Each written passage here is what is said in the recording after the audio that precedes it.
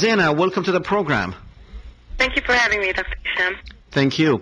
Uh, tell me, I mean, this is, I don't know how old this issue is, but, uh, you know, recently we started to hear from people such as yourself who have, you have a problem going home. What's, what's going on? um, to put it simply, yes. Um, well, I mean, this has started since the establishment of the State of Israel, but since 2006, uh, Israel has escalated their confiscation of Jerusalem IDs, um, in addition to uh, the travel documents and denying Palestinians their right to go back home and to live in Jerusalem in particular. Um, so it has escalated tenfold, I believe, in, in the past few years.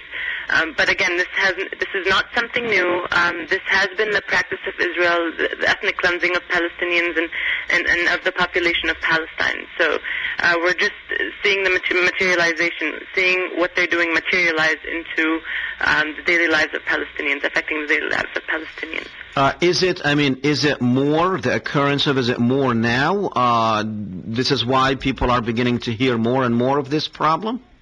Yes, it has increased. I mean, it never stopped, but it has increased, and they have become a lot more blatant about it. So, um, so yes, it has increased. Now, now you came to the United States when you were 17 years old to go to, um, you know, finish your education, go to high school, etc., etc., and you decided to marry someone from here, and this has become your second home. Exactly. Um, actually, I came here to finish my education. My husband is Palestinian also. He's Palestinian American. So we both grew up in Palestine and, and uh, um, born and raised. So um, my attachment to Palestine is not merely a piece of paper, as you probably well know. Um, yes, well, uh, um, the United States is my, my second home. I currently live here. My son, my husband, and I live here. Um, but that should not deny me my right to live in Palestine, to live in Jerusalem, and be able to go back home to see my parents and my friends and my family. Um, as you mentioned earlier in your in your uh, presentation, uh, I do have an American residency, but I do not have an American passport. Um, in many countries around the world, if you, I mean, they do not allow dual citizenship, but that is not the case in, in, in my situation. Um, I am born in Palestine, in Jerusalem.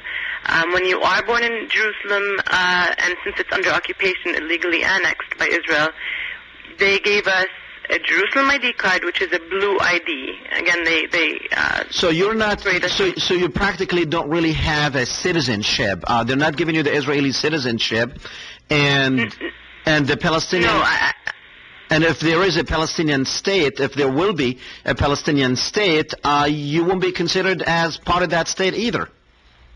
That's correct. Um, I do not have an Israeli citizenship. I am not Israeli. Um, and in fact, one of their argument, arguments to me was this time was why doesn't she get an Israeli passport? Well, I'm not Israeli. I do not wish to be Israeli, and that again is part of their dissection of Israel into, um, you know, separating the Palestinians from the Israelis by uh, kicking the Palestinians basically out of Jerusalem. Uh, you mentioned the settlements for one, uh, expanding the settlements around Jerusalem and incorporating them into Jerusalem, uh, uh, but also um, the, the cities that used to be considered Jerusalem, that are the majority Palestinian, actually, in fact, all of them are Palestinian, are now being pushed away and incorporated into the West Bank um, as, as a means to decrease the Palestinian population in Jerusalem and, and for the majority to become Jewish or Israeli.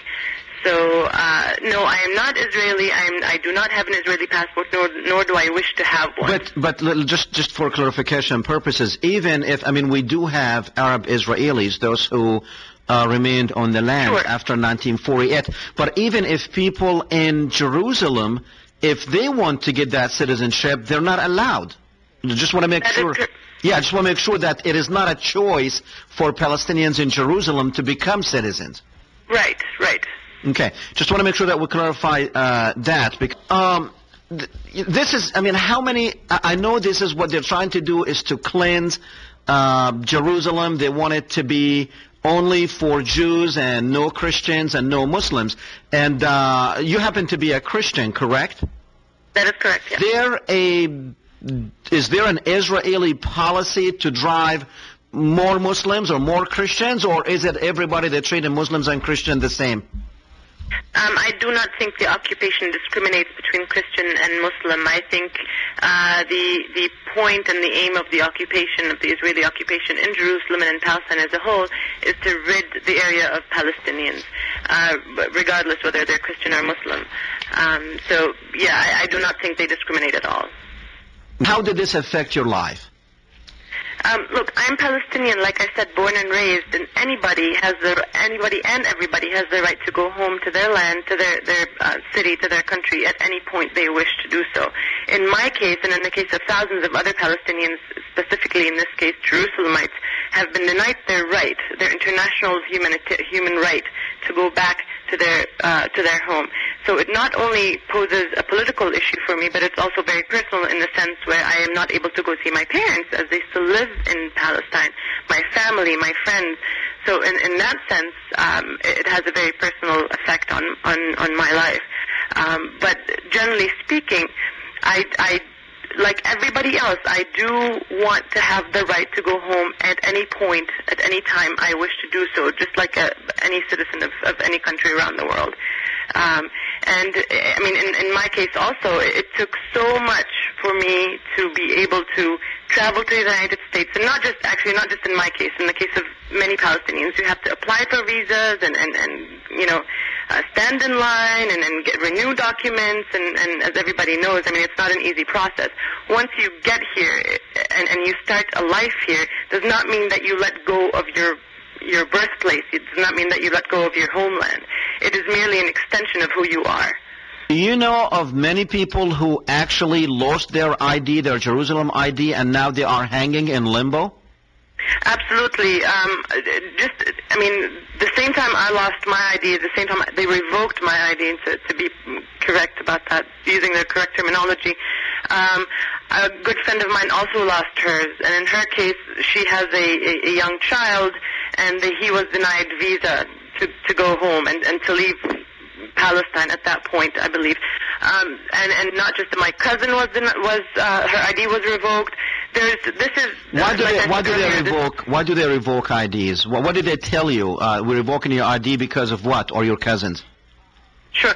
Well, they they tell us that because we have citizenship or because we have residency here in the United States, we no longer reside in Jerusalem. But in our case, uh, our residency card, our Jerusalem ID card, is not just an ID card. It's not like if I live in Virginia, for those of you watching in the United States, it's not like I am living in Virginia and then I decide to move to Texas.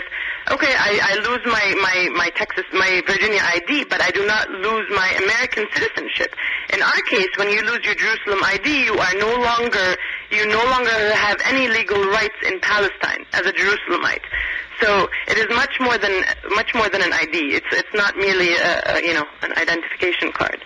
And I'm assuming your cousin lost her uh, ID because of the same reason she lives here. She has res- residency in the United exactly. States. So essentially what they're trying to do is get rid of all Palestinians living in Jerusalem, but also, in fact, by isolating Jerusalem from the West Bank and from Gaza, they are literally imprisoning the Palestinians there because when you have a Jerusalem ID card, or if you have a West Bank ID, regardless, you are not able to travel freely. To give you a small example, my husband and I uh, like I said earlier, are both born and raised in Palestine.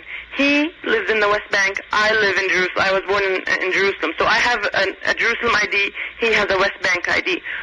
Legally, based on Israeli law, we are not to travel in the same car or ride in the same car at any point, crossing any borders.